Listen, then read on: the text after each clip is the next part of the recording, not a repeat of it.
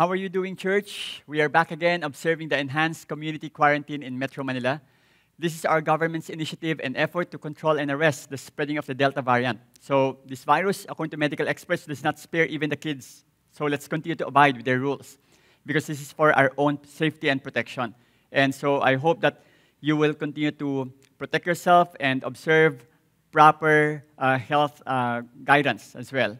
So, unfortunately, there are still many Christians all over the globe, no? including here in our country, who do not heed the advice of the medical experts to have themselves vaccinated. I have no problem kung ang dahilan ay dahil sa health issues, according to medical experts. Kaso, ang nakakagulat ay kinokonekta ng marami ang vaccine sa microchip, nanotechnology, mark of the beast at the end of uh, times prophecy na sila-sila na din ang nag-interpret without the help of legitimate, prominent, and respected Bible scholars. Dahil dito, mas uh, naalarma ang mga tao. The people all over the world are facing too many uncertainties already as a result of this end-time hysteria that are spreading from different corners of the world. Yung maisip mo lang na malapit ng katapusan ay siguradong magbibigay na ng fear and anxiety sa marami. Ang sabi ng iba, Lord, wag muna kayong dumating kasi hindi pa ako nag-aasawa. Para namang i-reschedule ni Lord ang kanyang pagdating para lang sa wedding event mo, no? Ang iba naman, Lord, wag muna kayong dumating dahil hindi pa ako prepared. Kaya nga matagal na niyang sinabi more than 2,000 years ago sa Revelations 22.20 na surely I'm coming soon. Para anytime na dumating siya ay makapaganda ka. Pero alam nyo, whatever happens in our lives and in this world, I hope our confidence and hope still lies in Jesus Christ. And that we look forward to His second coming. Excited ka bang dumating si Jesus? May mga ibang tao na hindi nila nilook forward ang pagdating ni Jesus. Kasi hanggang ngayon hindi pa rin sila naniniwalang uh, darating siya no? Kasi hanggang imagine no? Hanggang ngayon uh, hindi pa rin siya dumarating. Ilang daang taon na ang nakalilipas pero he has not yet come. Hindi pa dumarating si, si, si Jesus ay para na para mas marami pang tumanggap sa kanya bilang Panginoon at tagapagligtas at Diyos ng kanilang buhay. At of course, sinasabi rin sa first o sa 2 Peter chapter 3 9 to 10, allow me to read this passage here, no? 2 Peter 3, 9 to 10. The Lord is not slow to fulfill his promise, as some count slowness, but is patient toward you, not wishing that any should perish, but that all should reach repentance. Verse 10. But the day of the Lord will come like a thief, and then the heavens will pass away with a roar, and the heavenly bodies will burn up and dissolve, and the earth and the works that are done on it will be exposed. Now, it's true that Jesus is not slow to fulfill his promise, but wants all people to reach repentance.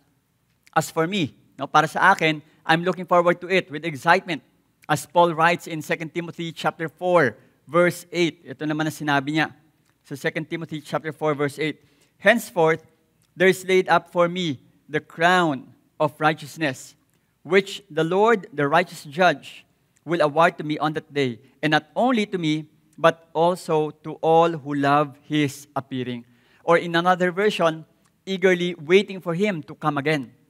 May crown of righteousness din pala doon sa mga taong hindi lang nagsasabing willing to wait, no? but loving to see Jesus appearing.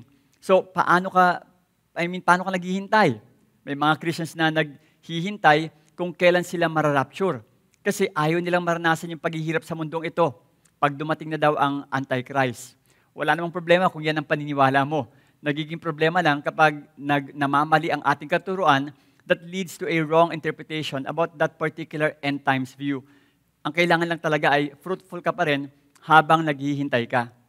You know what? This is also the concern of Paul in the Thessalonian church. He urged them to live according to the Word of God and to continually dwell in community and harmony with others, to persevere in spite of trials, and to please God in everything. It is our hope and prayer that as we go through this five week series in studying the book of Thessalonians, you will have a greater understanding of what being a follower of Christ means. In light of Christ's return, giving you hope, which in turn gives you purpose in present. This is why we title this series as Future Hope, because our present circumstances are seemingly bleak and may cause hopelessness and despair. Pero since nasa atin ang Panginoon Jesus at darating siya balang araw in all His glory, we live with hope for our future and have confidence in Him. I would like you to open your physical Bible and e-Bible to 1 Thessalonians 1, 1 to 10. Doon po natin babasahin ang ating main text. 1 Thessalonians chapter 1, verses 1 to 10. It says here, Paul, Silvanus, sa ibang mga version ay Silas, and Timothy, to the church of the Thessalonians in God the Father and the Lord Jesus Christ. Grace to you and peace.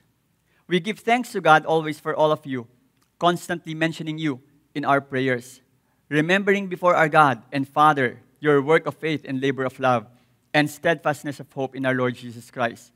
For we know, brothers, loved by God, that He has chosen you, because our gospel came to you not only in word, but also in power and in the Holy Spirit, and with full conviction. You know what kind of men we prove to be among you for your sake, and you become imitators of us and of the Lord. For you received the word in much affliction with the joy of the Holy Spirit, so that you became an example to all believers in Macedonia and in Achaia. For not only has the word of the Lord sounded forth from you in Macedonia and Achaia, but your faith in God has gone forth everywhere, so that we need not say anything. For they themselves report concerning us the kind of reception we had among you, and how you turned to God from idols to serve the living and true God, and to wait for his Son from heaven, whom he raised from the dead, Jesus, who delivers us from the wrath to come. Let us pray. Panginoon, dalangin po namin ang inyong banal na Espiritu na siya pong mangusap sa amin sa araw na ito. Pagpalain niyo po, Panginoon, ang mga taong nakikinig sa araw na ito sa kanilang mga tahanan. I believe, Lord, that you're going to bless them, bless their family, and we believe, Lord, that even as we listen to your word, we are already encouraged. Salamat po ng maraming Panginoon. Patnubahin niyo po ang pagkakabasa po at pag-aaral ng inyong salita. We pray this in Jesus' name. Amen. Amen. This is probably the first letter of Paul, which can be read in Acts 17, verse 6. He is the author of this letter, while Silvanus, a Roman form for Silas, is probably his secretary or writer, yung anya annuensis, no, na tinatawag, na parang secretary ang dating. In one month's time, Paul, Silas, or Silvanus, and Timothy were able to form the first church in Thessalonica amongst the Jewish and Gentile believers. Kaso nung narinig ng maraming mga tao na si Paul daw ay nagtuturo ng defiance against kay Caesar, the Roman Emperor, na ang totoong hari daw ay si Jesus, hindi siya, then nagkaroon po ng persecution no, sa kanila. Sabi sa Acts chapter 17, 6 uh, to 7, and uh, again, we will see no, uh, kung ano po yung naging reaction ng mga tao po roon. And when they could not find them, they dragged Jason and some of the brothers before the city authorities, shouting, These men who have turned the world upside down have come here also. And Jason has received them and they are all acting against the decrees of Caesar, saying that there is another king, Jesus. Sumobrang tindi ang persecution na kailangan umalis si na Paul no, sa siyudad ng Thessalonica. So ang ginawa ni Paul ay kumonekta pa rin siya sa mga mananampalataya doon para kumustahin lang sila. And after that, he received a good report from Timothy na they are growing naman despite the persecution. Paul reminded them that they are loved by God and they were personally chosen by God. Alam mo bang mahal ka ng Diyos at pinili ka ng Diyos? Kahit na hindi ka pansinin ng mga tao, ay importante ka pa rin sa harapan ng Panginoon. The reason why the Jews and Gentiles in Thessalonians were saved is because when they heard the gospel, it came in power and in the Holy Spirit. After they were saved, matapos silang maligtas, they imitated the godliness of Paul, Silas, and Timothy despite the persecution, na may kasamang joy no, sa banal na espiritu or joy in the spirit. Dahil dito naging model sila sa iba't ibang Kristiyano sa iba't ibang lugar ng Macedonia and Achaia. Kumalat ang balita tungkol sa faith ng mga believers na ito. Sana ganyan din ang mangyari sa mga iba't ibang tao na makakita at makakarinig sa atin bilang Kristiyano. Imagine, mga dati silang mga idolaters. According sa 1 Thessalonians 1.9, sabi nga dito, sa verse na ito, sa verse 9, For they themselves report concerning us the kind of reception we had among you, and how you turned to God from idols to serve the living and true God. And now, they are waiting for Jesus Christ to come. As 1 Thessalonians 1.10 no, states, sabi dito sa verse 10, And to wait for His Son, that's Jesus from heaven, whom He raised from the dead, Jesus who delivers us from the wrath to come. Ikaw, naniniwala ka bang darating si Jesus? kahit na umabot na ang ganito katagal na panahon, May kasabihan nga na, plan as if the Lord will come next year and live as if the Lord is coming at this very moment, ngayong araw na ito. So, what are the Thessalonian saints doing while waiting? Anong ginagawa nila habang sila naghihintay? Paul commended the Thessalonian saints by writing 1 Thessalonians 1, 2 to 3. Dito po sa verse na ito, sabi sa verse 2 to 3, We give thanks to God always for all of you, constantly mentioning you in our prayers. Pinapanalangin sila ni Paul, remembering before our God and Father your work of faith and labor of love and steadfastness of hope in our Lord Jesus Christ. Again, what are the three virtues found in a believer's life as they hope for the future? Number one is that work produced by faith in our Lord Jesus Christ. Yun po yung una natin. Work produced by faith in our Lord Jesus Christ. In this passage, you know, in verse uh, 2, uh, 2, 3, again, let me just um, uh, read this once more. We give thanks to God always for all of you, constantly mentioning you in our prayers, remembering before our God and Father your work of faith. Sabihin natin ulit, work of faith. No? Ulitin mo yan. The Thessalonian saints did their work for the Lord in faith. Martin Luther once said, sabi ni Martin Luther, we are saved by faith alone. But the faith that saves is never alone. Yung faith na yun, oo, naligtas tayo sa pamagitan ng biyaya ng Diyos, sa pamagitan ng panampalataya natin sa Panginoon Jesus, pero hindi yun nag-iisa lang kasi upang hindi ano kumbaga parang may mga may mga fruit ang Holy Spirit na hindi po natin nakikita. But only the Lord sees that and knows that. But hindi po yon nag-iisa, yung panampalatayang panampalatayang iyon, dahil sa alam natin na ang kaakibat noon o ang result noon ay yung pong uh, fruit ng Holy Spirit sa ating buhay. Now, again, we as believers continue to show forth the works in our life in the sense of doing good deeds. Ito po yung mga bagay na nakikita po ng mga tao. How does a believer show their good deeds in the eyes of men? Alam niyo, maniniwala lang ang mga tao sa atin kung meron tayong pagbabago sa ating buhay. Sabi nga ni James, no, sa James chapter 2, verse 17, So also faith by itself, if it does not have works, is dead. Patay yun. No? Kanino patay? Sa mga taong nakatingin sa'yo. Sa mga taong nakakita sa'yo. Patay yon. Pero sa Panginoon, oo nga, maaring ang nakikita ng Panginoon sa atin o kaya ang uh, alam natin ay nagsistruggle tayo sa particular sin na iyon, pero kaso nga lang, mahirap natin makumbinsi ang mga tao sa paligid natin kapag paulit-ulit natin nagagawa ang kasalanan yon.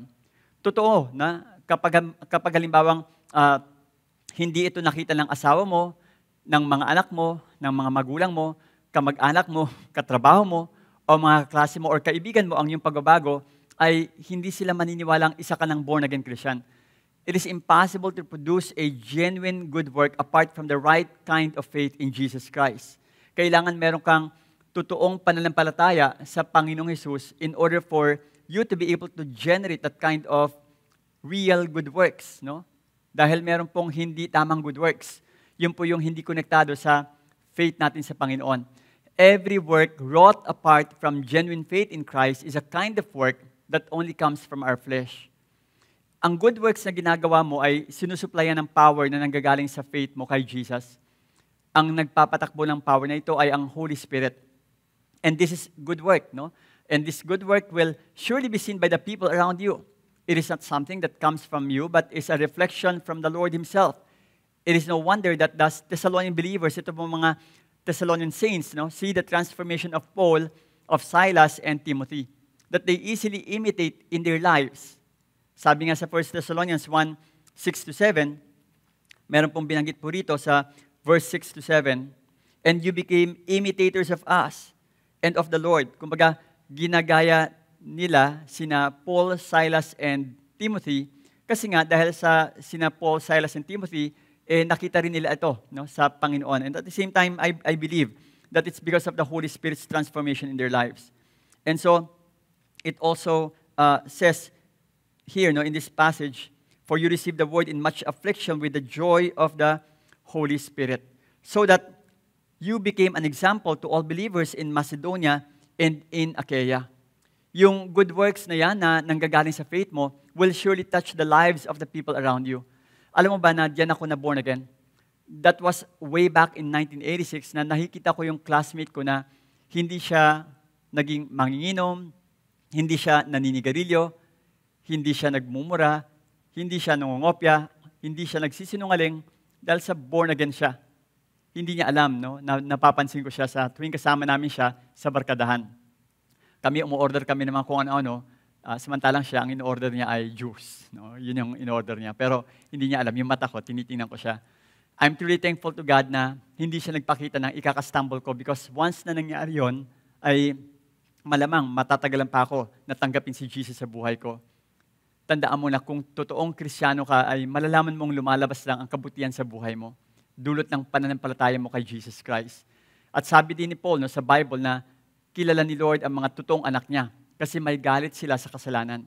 Sabi sa 2 Timothy chapter 2.19 no, sa Good News Bible, But the solid foundation that God has laid cannot be shaken. And on it are written these words, ano yon? The Lord knows those who are His. And those who say that they belong to the Lord must turn away from wrongdoing. Ang ibig sabihin diyan ng turn away ay to depart from sin, to withdraw yourself away from sin, to shun, or to flee, or to revolt, or magprotesta against sa kasalanan. Yun na ibig sabihin nun, magprotesta no, sa kasalanan. Always be reminded to do good works produced by your faith in Jesus Christ as your eyes gazes towards the future hope. So, alalahan natin, tandaan natin, na work produced by faith in our Lord Jesus Christ. Okay? Next is that labor produced by love in our Lord Jesus Christ. Labor produced by love in our Lord Jesus Christ. In 1 Thessalonians chapter 1, 2 to 3, it says here, again in this passage, we give thanks to God always for all of you constantly mentioning you in our prayers, remembering before our God and Father, it says here, your work of faith and labor of love. And labor of love. In fact, this is shown when the Thessalonians turned from idols to serve the living God. How do you serve your God in your life? Paano bang pinagsisiblihan ng Diyos mo sa iyong buhay? May isang illustration na binigay si William Barclay sa kanyang libro na nakuha niya kay Bernard Newman, kung saan nakatira siya dati no, sa isang Bulgarian peasant's house. Habang nakatira siya sa bahay ng peasant na ito, ay napansin niya ang dalagang anak nito no, na may sinusulsi siyang damit o yung uh, she was stitching a dress. Tanong ni Newman do sa uh, dalaga, hindi ka ba napapagod sa katatahi ng damit na yan? Para bang kasi halos araw-araw nakikita niya itong babaeng ito na nagtatahi palagi siguro halos uh, panay, panay kapag halimbawa gumigising siya every time, no? nakikita niya palagi yung uh, babaeng yon, yun palagi kinukuha, tinatahi niya palagi. And then, day in and day out, ganun palagi nakikita niya. Ang sagot ng dalaga sa kanya, uh, no, no, no, hindi. You see, this is my wedding dress. Kumbaga, kaya siya hindi napapagod at kaya siya tuloy-tuloy na uh, sa kanyang pagtatrabaho ay yung pala, yung pala yung wedding dress niya. So kumbaga para bang excited siyang gawin yon. Kasi alam niya na uh, sa, kapag halimbawang natapos niya yon, ay uh, ikakasal siya pagkatapos nun. Kapag para bang mahal niya yung kanyang ginagawa. Tanungin ninyo ang mga lalaki at babaeng ikakasal kung sila ay napapagod sa pag-aasikaso ng kanilang wedding. Malamang hindi. So why are they not tired? It's because they do it out of love for each other. Ang tawag diyan ay labor of love. Sana sa lahat ng ginagawa nating kabutihan para kay Lord ay may kaakibat na pagmamahal palagi Naalala niyo ba si Jacob nung nililigawan niya si Rachel? Despite his hardship, he still managed to finish everything because he is coming from a labor of love. Ang sabi nga dito sa book of Genesis, chapter 29, verse 20, So Jacob served seven years for Rachel, and they seemed to him but a few days because of the love he had for her. Alam mo ba na parang umiikli at bumibili sa mga araw kapag hinahaluan mo ng pagmamahal ang mga ginagawa mo. Kaya ka lang naman naiinip sa trabaho mo kasi hindi mo hinahaluan ng pagmamahal o kaya excitement o kaya enjoyment. Kaya ka nahirapan na pagsilbihan ng asawa mo ay dahil hindi mo hinahaluan ng pagmamahal. Kaya ka nagiging legalistic sa ginagawa mo sa pagsunod mo kay Lord ay dahil hindi mo hinahaluan ng pagmamahal sa Kanya. Subukan mo lang samahan ng pagmamahal. I'm sure there will be joy in whatever you are doing for God and to anybody. Sabi nga ni Paul sa 2 Corinthians 5:14 to 15, and um, this is coming from the uh, NIV, no? Uh, dahil sa merong uh, binabanggit po dito sa verse na ito. This is coming from this passage. Let me just read it for a moment. 2 Corinthians 5, 14 to 15. For Christ's love compels us, because we are convinced that one died for all, and therefore all died. And he died for all, that those who live should no longer live for themselves, but for him who died for them and was raised again. Imagine, no? Kumbaga, his love for the Lord or yung love ng Panginoon sa kanya, nagko-compel sa kanya para gawin ang mga bagay na yon. At yung pagmamahal rin niya sa Panginoon, I'm sure. By the way, no, ang mga labor na ito na kinoconsider ng Bible na good works ay may eternal bearing pagdating ng araw as we look forward to the future. Hindi lang ito parang gumagawa lang tayo ng kabutihan for, uh, for, for nothing. Merong bearing ito pagdating ng araw. Akala nyo ba na you know, ang mga ginagawa nating mabuti at yung mga ginagawang masama okay, ng mga Krisyano ay walang weight no, pagdating ng araw. Oo nga't hindi na tayo i-condemn ng Panginoon sa huling araw or sa Judgment Day. Pero sa Judgment Day ay uunahin ni Lord ang kanyang mga anak in judging their works. Sila ang unang-unang huhusgahan pagdating ng araw. Sabi nga ni Peter sa 1 Peter chapter uh, 4:17, For it is time for judgment to begin at the household, household of God. And if it begins with us, what will be the outcome for those who do not obey the gospel of God? Kawawa naman yung mga taong yon. Kasi una-una, tayo ang unang-unang huhusga ng Panginoon. Again, not in the sense of to be condemned because we are no longer condemned, but it has a connection with rewards. At ano ang i-judge sa atin ng Diyos? ang paliwanag ni Paul sa 2 Corinthians 5.10, this is uh, what Paul explained in uh, 2 Corinthians 5.10, For we must all appear before the judgment seat of Christ, so that each one may receive what is due for what he has done in the body, whether good or evil. So anong sabi diyan? Paul says, For we, refers to the believers, must all appear, saan? Before the judgment seat of Christ para ano? So that each one may receive. Ano naman yung matatanggap natin bilang mga Krisyano pagdating ng araw ng judgment? E di yung what is due for what He has done in the body. Ano naman yung mga ginagawa natin bilang Krisyano? Whether good or evil. Kasi may mga Krisyano na gumagawa pa rin ng hindi tama sa harapan ng Panginoon. So, yun pala yon. Hindi pala totoo na hindi na mababanggit ang mga masamang nagawa natin bilang mga Krisyano pagdating ng araw. Again, I'm not saying that this these evil things will be used to condemn us. inuulit ko palagi. However, these good and bad deeds will be used as a gauge for rewarding God's people. Kung ayaw mo sumunod sa kalooban ng Panginoon, walang pipigil sa'yo. Kasi decision mo yan. Pero tandaan mo na aside from the possible discipline that God can give you, your future eternal reward is also at stake. After all, isa-isa naman talaga tayong haharap kay Lord pagdating ng araw. Hindi ka haharap kay Lord na katabi mo ang pamilya mo, o kaya kasama mo ang asawa mo, o kaya ang anak mo, o kaya yung church. Okay? Hindi naman tayo sabay-sabay na para bang tatawagin tayo as a church. But the Apostle Paul writes in Romans 14.12, sinasabi po rin sa verse na yon, So then each of us will give an account of himself to God. So that each of us will give an account of himself to God. Lahat po tayo isa-isa. So you just have no idea what God has in store for those who labor in serving Him with love. Kapag halimbawa po tayo ay nagsisilbi sa Panginoon na meron pong halong pagmamahal, hindi mo alam kung ano ang nakaprepare para sa iyo. Kapag halimbawang dumating na po ang time na humarap tayo sa Panginoon. As Paul said in 1 Corinthians chapter 2, 9 to 10, no? sabi niya dito, However, as it is written, no eye has seen, Walang matang nakakita, no ear has heard, no mind has conceived what God has prepared for those who love Him. In verse 10, it says, But God has revealed it to us by His Spirit. So, in other words, any physical eyes, any physical ears, and any physical brain that thinks has no idea what God has in store for those who serve the Lord with love. Tanong ko po sa inyo ngayon, aking mga kapatid, may pagmamahal ba na kasama kapag pinagsisilbihan mo si Lord? May pagmamahal bang kasama kapag sinusunod mo siya sa iyong buhay? May pagmamahal bang kasama kapag nagbabasa ka ng Biblia at nananalangin ka sa Kanya? May pagmamahal bang kasama kapag ikaw ay nagdi-disciple na o kaya nag-reach out sa mga ibang mga tao? I hope so. Sana nga, meron palagi. I really hope so. Umiikli ang mga araw kapag pinagsisilbihan natin si Lord ng may pagmamahal sa Kanya. Sabi nga ng scripture, love the Lord your God with all your heart, with all your soul, with all your mind, and with all your strength.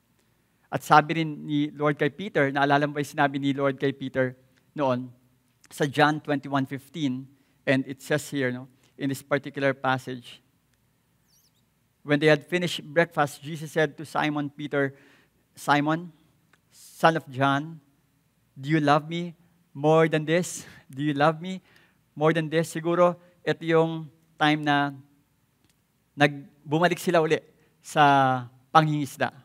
So most probably baka sinasabi ni Lord, do you love me more than the things that you are doing?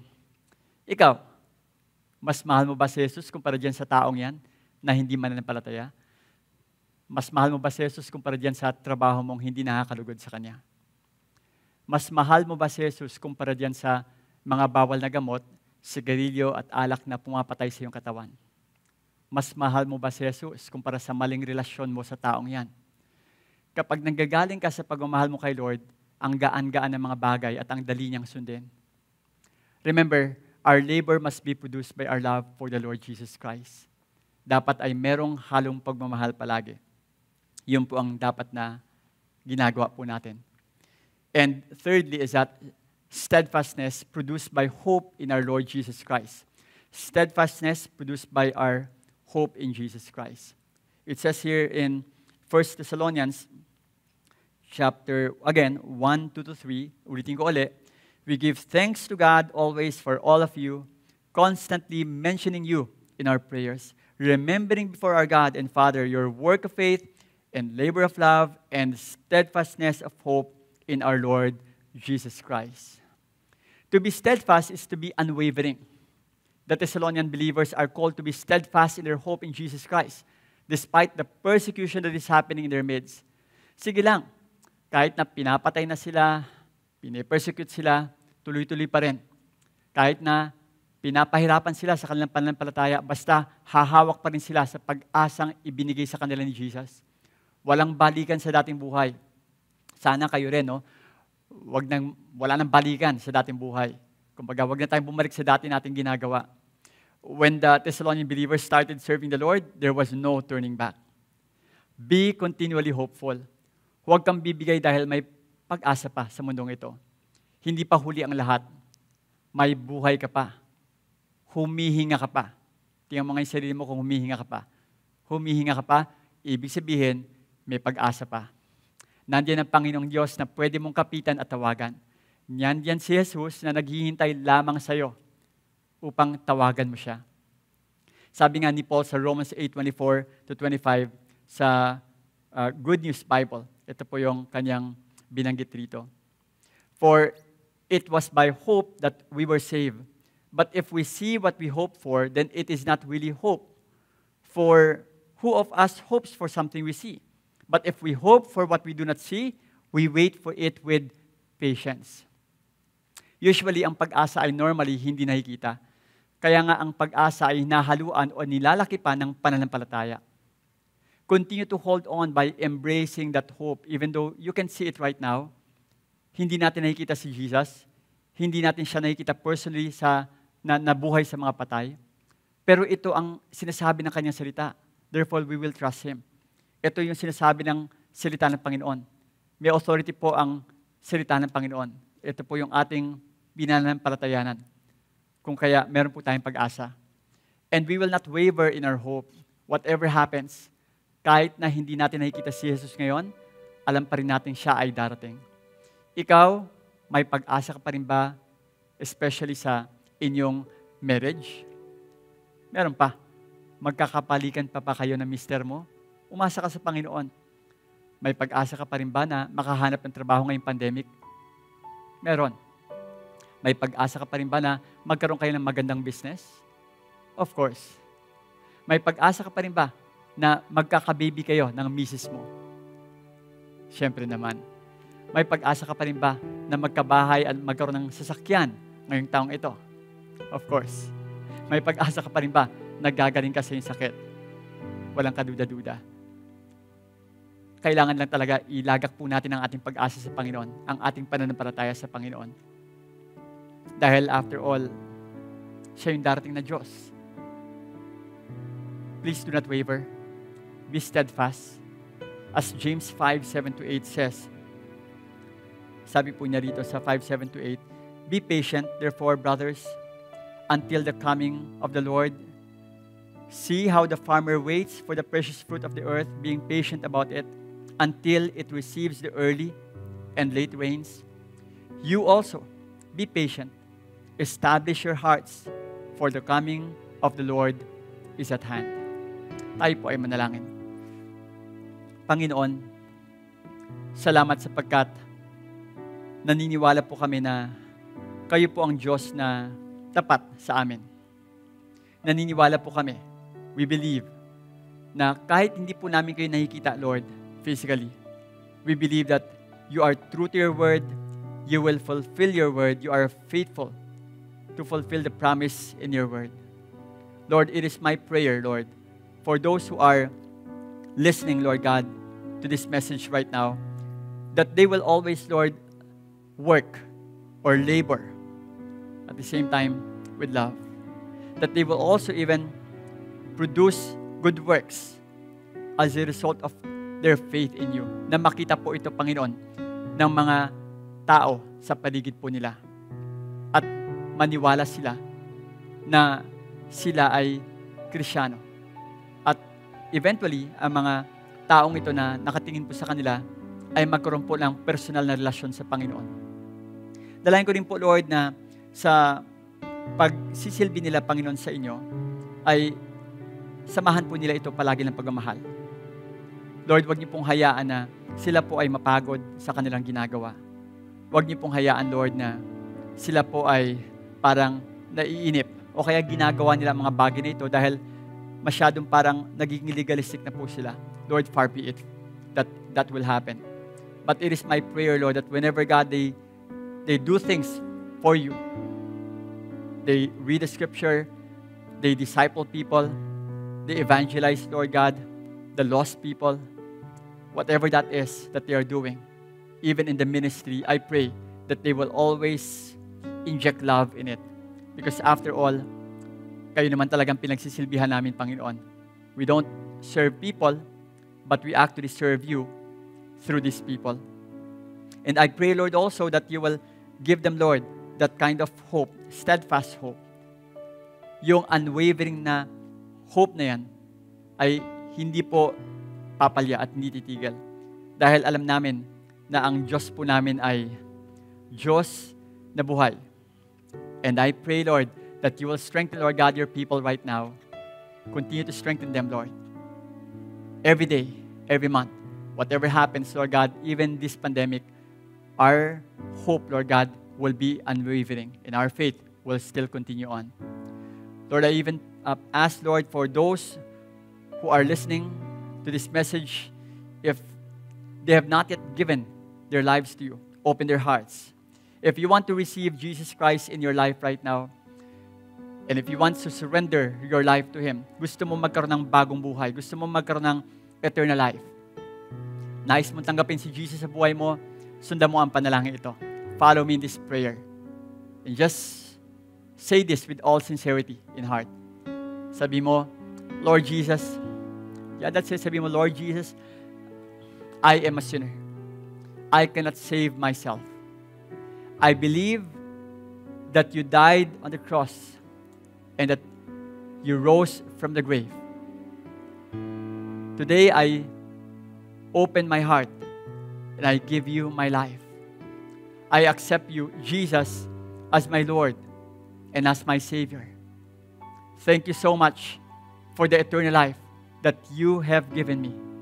Holy Spirit, move in my life, transform me, change me, give me hope and a brand new future. I pray this in Jesus' name. Amen and amen.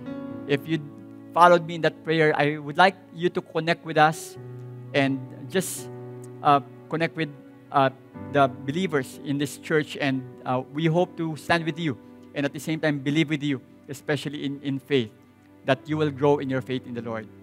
Now, let me just end this in a prayer. Lord, I pray that you'll bless your people, bless their family, bless the works of their hand. Lord, protect them from any Delta variants. I pray and I ask God that you will also, Lord, continue to prosper them, despite the fact, Lord, that there is a, there is a lockdown right now or an ECQ right now. Your provision will still be there, Lord God, sa bawat pamilyang ito. Salamat po, Lord. Thank you, Lord, for your goodness and grace and faithfulness. May the God of hope fill you with all joy and peace in believing, so that by the power of the Holy Spirit you may abound in hope. This I pray in Jesus' name. Amen. Amen. God bless you.